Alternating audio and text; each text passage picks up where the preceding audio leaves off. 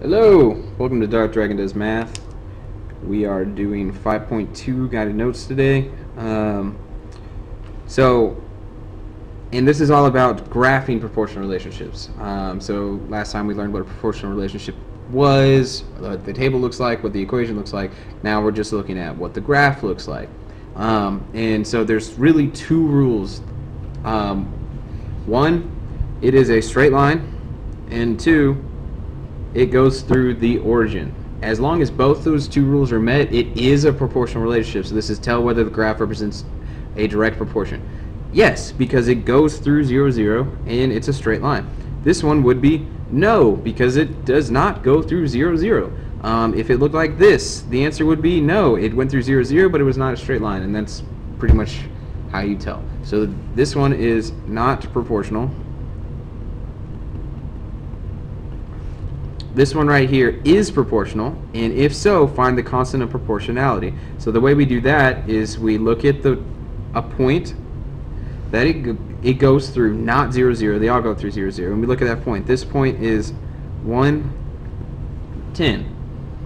So that point means basically, just like it was when we were doing the tables, we say whatever the second one is divided by the first one.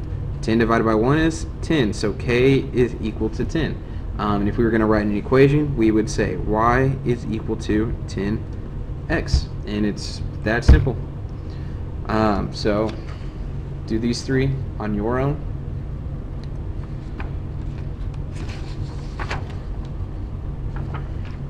Alright, so this one's a little bit more complicated. We got a few questions. We got this equation, this table right here, and so um, we are going to do some stuff. so Sean is a mechanic. Uh, the number of cars he services is directly proportional to the number of hours he works. The graph shows the number of cars in serviced in T hours. So this is car serviced by Sean. This is in, this is T. So time is on the bottom, and the number of cars serviced is going up and down, which makes sense. That's the way it's always going to be. Whatever is dependent on the other. Um, so this is independent, this is dependent. And in some of my classes I've talked about independent, time is independent.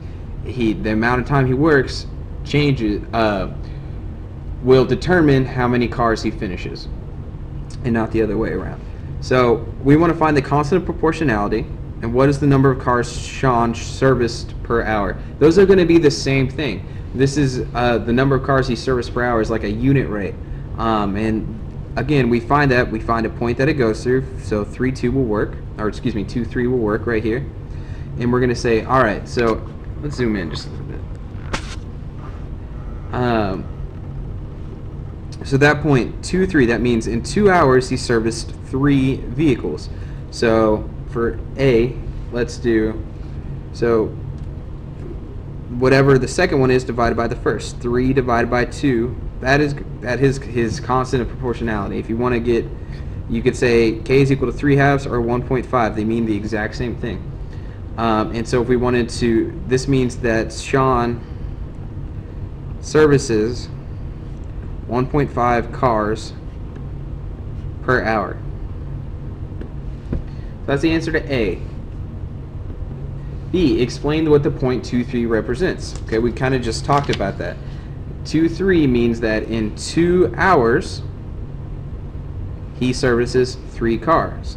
So Sean services three cars in two hours. Um, C.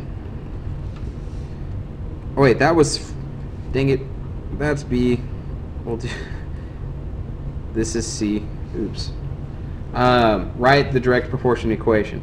So, sorry, this the direct proportion equation should have been n is equal to 1.5 t. Now, the reason it's n is going back to the graph. Maybe it wasn't good to zoom in. The reason that it's in is because that's what it's labeled as. If it was labeled as something else, I'd put something else there. But it's in is equal to 1.5 t basically this number times 1.5 is going to be that number which makes sense that point is actually 1.5 It's not written here, but think about it. This is 0 to 3. It's divided in two parts, 1.5. So, yeah, that's 1.5. Uh, Sean, eh, he can service two cars in three hours. If Sean works six hours, how many cars can he service? So I'm going to use the equation. I'm going to say, so D, if he ser if he works six hours, N is equal to 1.5 times 6. How many can he service? 1.5 times 6. Well, 1 times 6 is 6. Half of 6 is 3, so that's equal to 9. He can service 9 cars in 6 hours. Um, we could also do that by 6. 6 hours, he services 9 cars. Uh, E, Sean wants to service 6 cars. Well, 6 cars. Go over, go down, takes four hours to do. Um, we can also prove that by saying, okay, he's working 6 1.5 t, divide by 1.5, divide by 1.5. 6 over 1.5 is like 60 over 15, which is equal to 4. So it would take him 4 hours to service 6 cars. Um, I know there was a lot, and I zoomed in and out, and that might have been disorientating. But um, hope that makes sense. You can do this one now. Um, and let me go ahead and just tell you the answers. That way you are not confused. I should have done that on the problem before. So the answers are 50, y is equal to 50t. Um, this is 350 miles in 7 hours. 150 miles, and then this one is 8 hours. Now, again, the reason that I'm telling you the answers in the first place is because that's not what's important. It's important is how do I get those answers. So that'll help you check yourselves while you're doing it. Um, but anyways, I'm out. Math!